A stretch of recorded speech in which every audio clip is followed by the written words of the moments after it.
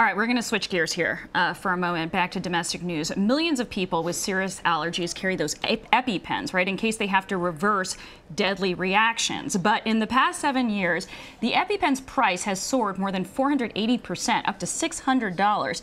The device accounted for 94% of epinephrine auto injectors, creating a virtual monopoly. Just 26% of prescriptions filled today are for the brand name EpiPen. 48% are for Mylan's authorized generic version. Now, other companies now claim 26% of the market. Anna Werner shows us why there's confusion over the treatment's costs. This is the new Auvi-Q. Things have changed in the year since we first visited the Henniger household in the suburbs of Indianapolis. Two of the six children here have severe allergies. And last year at this time, parents Justin and Lexi were unhappy about the prices for their EpiPens. 600 bucks for a two-pack. We weren't really anticipating it being $600. Right. Under increased pressure from patients and lawmakers, Mylan was forced to explain the price hikes. Do you think you were oh charging too much at 600?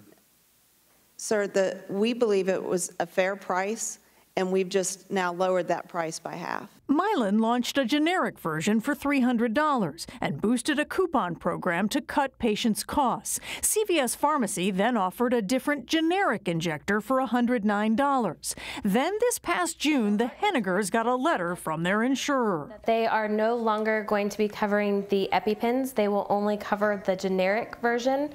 So they have taken these completely off of their plan. But at their pharmacy, generics were out of stock. That's when they looked at the Auvi-Q. This is very personal for us. And Evan and Eric we, Edwards what, invented what the Auvi-Q after growing up with severe allergies. We carry it uh, in our pockets every day.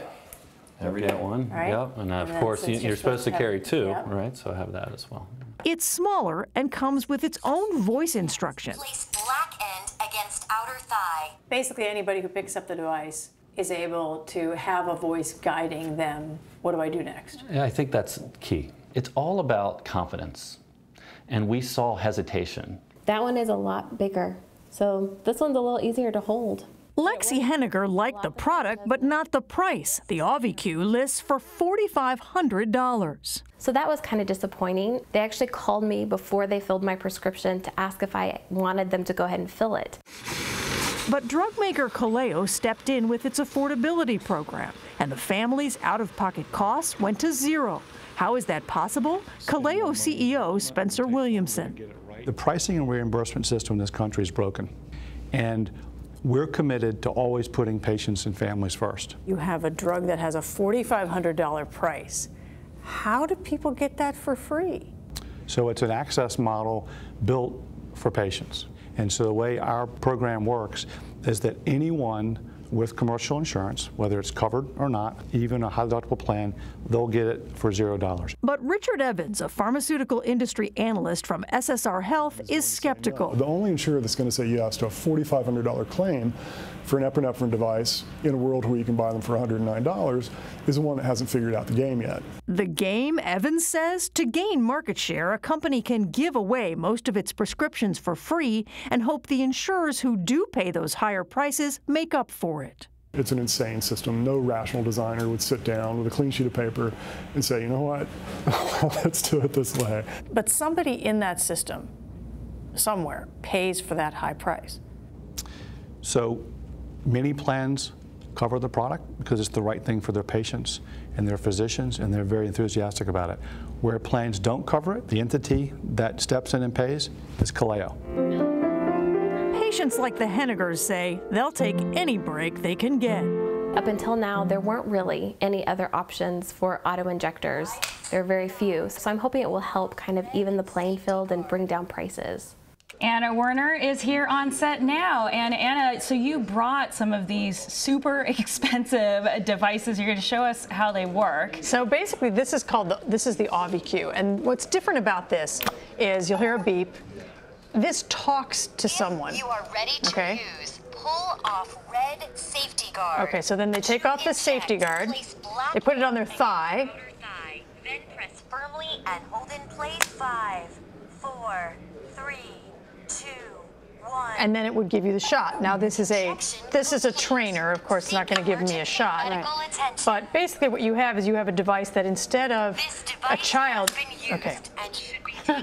okay, I won't shut Now up. simmer down. Yeah, now we simmer have to pay it to shut up? Yeah. Okay. So okay, so the difference here is the the guys who invented this are twins who grew up with severe allergies. Right. And they said, you know, EpiPens to them were big, kind of clunky, didn't fit in the pocket, and weren't very user friendly in the sense that in a panic situation, when you're having uh, a reaction that could put you into shock, you or a family member or a friend has to figure out how does this thing work.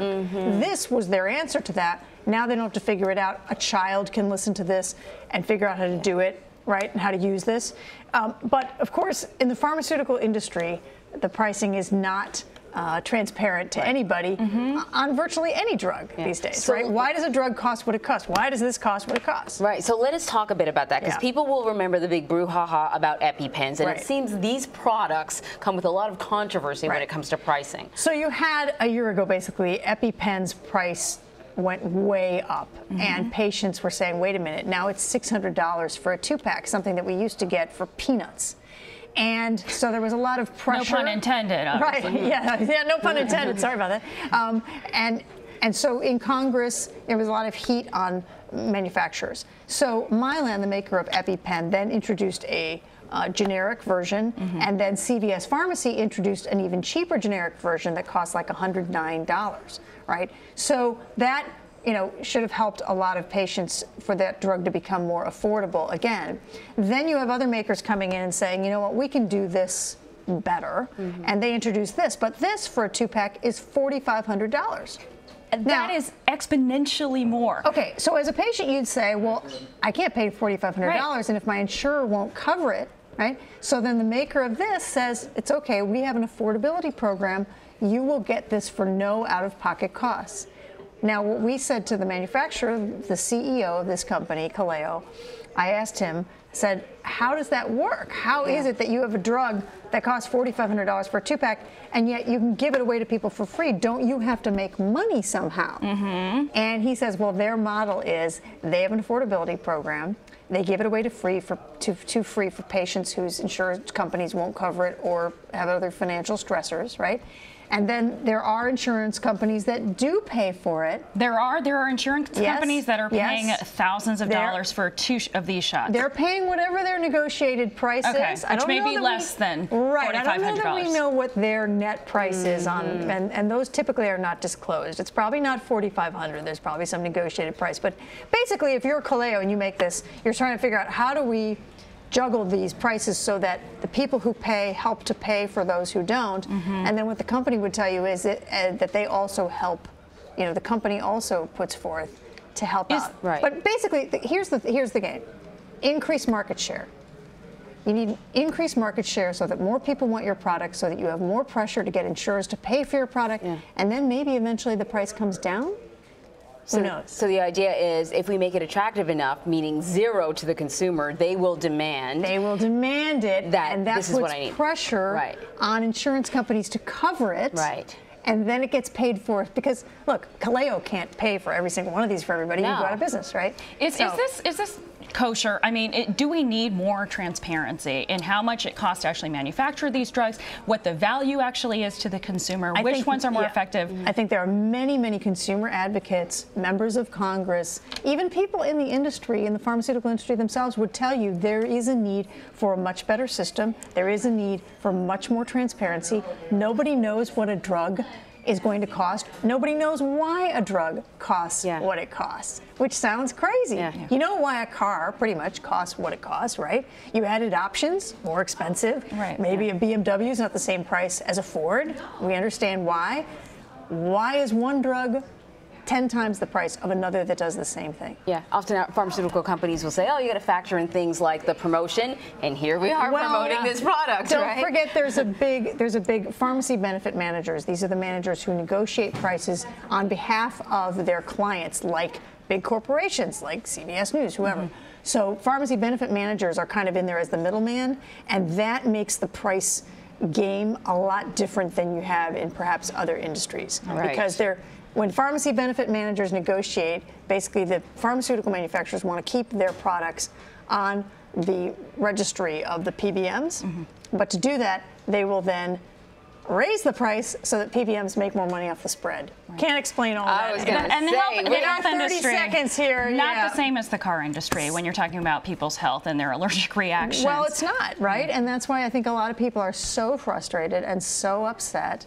Um, but if someone wants these right now, guess what? The company's going to make it happen. So if you're a patient, like our patients that we interviewed for the story, they're like, you know what?